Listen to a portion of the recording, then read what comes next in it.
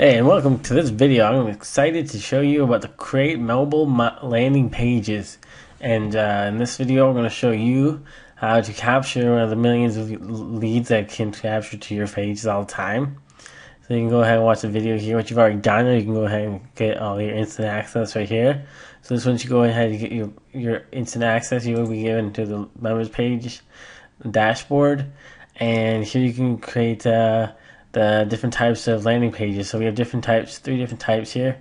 We can have the call that call us now, and this is the main point of this landing page is to get you to click here to call your telephone number or to click on a link. So as you can see, you have a few options right here. So let's just go ahead and see what happens when you change the background. We have a few different colors that you can go ahead and choose background.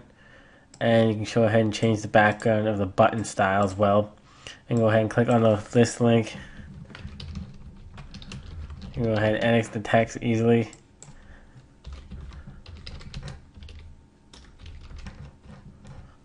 And all the text is editable.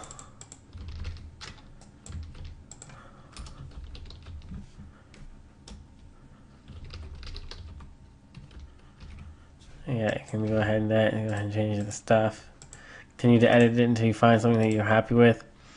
And then you go ahead and save it to a PNG graphic. So this is what you want to do, and this is what will happen when you view it on a mobile thing. It will full screen like this.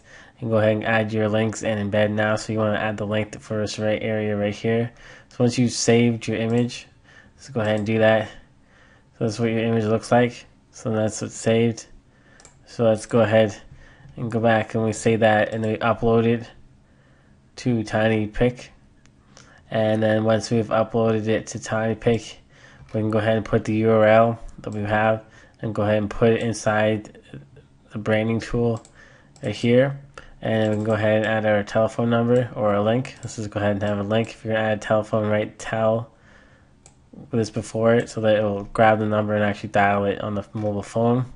So once you have all that in place, you can go ahead and click generate embed code and it'll generate this code for you.